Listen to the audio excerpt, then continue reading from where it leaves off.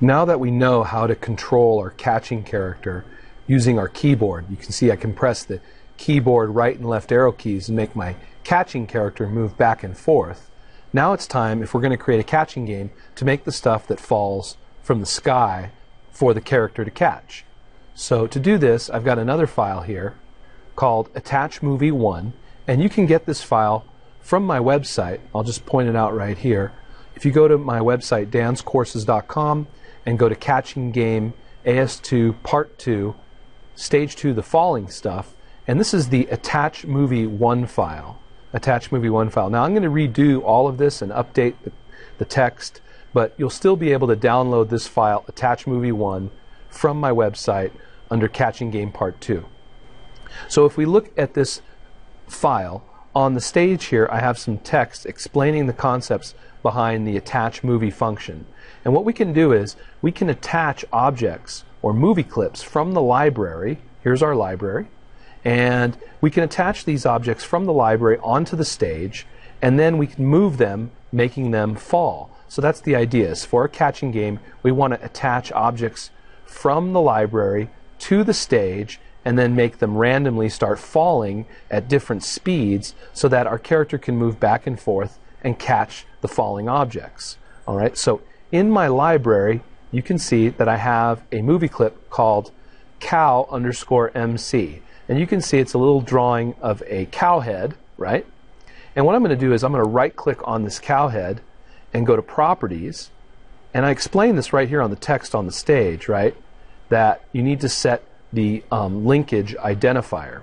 Now, the linkage identifier, you can see here the name of the movie clip is cow underscore MC. But if you click on advanced, you'll see that you've got ActionScript linkage, and you check mark export for ActionScript, export in frame one, and then you can set the identifier. And the identifier that I've set for this movie clip is the word or the text cow, the string C O W cow. So this is like this linkage identifier is like an instance name for a movie clip on the stage. But since this movie clip is not on the stage, it's in the library, it gets what's called a linkage identifier. So, if we have a movie clip on the stage, if I was to draw if I was to drag this out, let's say, hold on one second, try that again.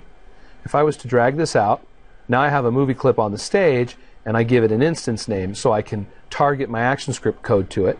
But if it's in the library, right, if it's in the library, it needs to have a linkage identifier, right? So once again, you click on advanced and you set the ActionScript linkage, check mark these, put the identifier cow, all right? So that's what we're going to be doing. We're going to dynamically tell the ActionScript code to grab the object from the library and drop it onto the stage. Now to do this, you can see that um, I have a layer called actions, and we've got some action script here. And in the action script, the first thing that I have is the attach movie function. Now, I've written all of the code out, and what I'm going to do is I'm going to go through this code line by line to show how it works. So I'll just scroll that down now, and we'll just talk with this first line. So attach movie, you give it the linkage name, which is cow in, in between quotation marks. Then you need to give it a new name. So this is the new name. Now you can use the same name for the new name, or you can choose a new name. So I could say cow underscore new, right? Or new name, right? So linkage name, the new name that you're going to give it, and then this is the depth level. The depth level is almost like a layer concept. Every item that gets attached, or every movie clip that gets attached from the library to the stage, needs a unique depth level right? You can only have one attached movie clip on one level, right? So if I was to attach two movies to the same level, the one would overwrite the other, and you'll see that in a second. So we say attach movie, the linkage name, the new name, and the identifier separated by commas, right? And this is the attach movie function. So you hit Control Enter, and you can see that the cow has been attached to the stage in the upper left hand corner. Now, it attaches to x0, y0. So in our flash movie, x0 and y0 is the upper left hand corner of the stage. That is x0 and y0.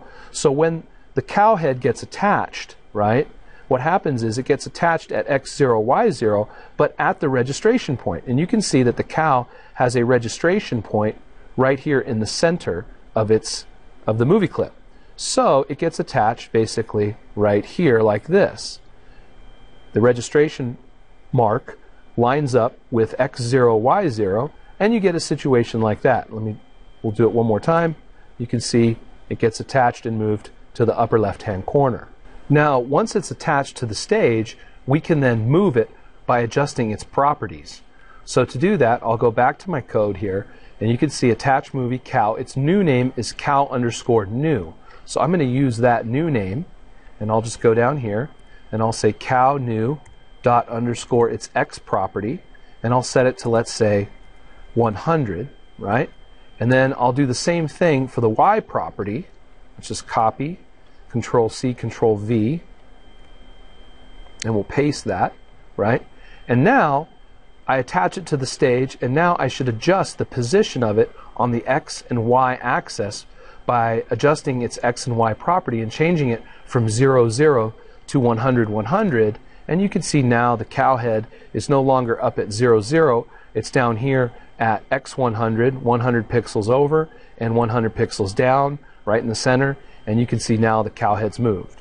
So now that we know how to do this and how to attach an object from the library, it's time to start writing some code that will basically set up our uh, cow heads to attach and fall in a dynamic fashion. So what I'm going to do is I'm going to delete this and we'll start coding this up. Now the first thing that I do here, you'll see, is I create a couple of variables. So I'll put these here, all right, and I say variable cow counter equals 1. And by the way, I just made up this name, right? Cow counter. Why? Because I need a counter that's going to count my cow heads. And I started at 1. And then depth level, I'm going to start the depth level of the heads at 3000. Now, why did I do that? Well, maybe because my catching character is at a lower level, but this could have been anything. I could have made this, let's say, 1000, and I'll change it to 1000. So we'll start at depth level 1000 for the cow heads. The next item here is the drop timer. And I'll show you what this is. Now, I also made up this name because I need a timer, right? And what kind of timer is it? It's a timer that's going to drop my cow heads. So I named it drop timer. And then I say drop timer equals a set interval function, which is another function built into Flash. It needs a capital I so that it turns blue. And in the set interval function, what I can do is, is I can call a function. So I'm going to call a function called create cow, which, by the way, I'll need to write. And I'm going to call this create cow function every 2,000 ticks or milliseconds, right? So 2,000 ticks is uh, two seconds. So let's try it out. So drop timer, set interval, create cow every 2,000 uh, milliseconds. And then what I'll do is I need to write that function. So I'll say copy here and paste function create cow open and close parentheses open curly brace right? And now I'll just say trace. And we'll just trace the number one all right? So now if this works every two seconds the create cow function should be called which calls this function which traces the number one right? So we'll hit control enter and you can see that there's a number one, there's another number one, another number one, and another number one. So this will be my basically, I'll use this drop timer, this set interval function, to basically add a falling object every two seconds, right? And it'll do that by calling this function every two seconds. So now that we have that, we need to get rid of this trace one here inside this create cow function and basically write our code that's going to attach our cow heads.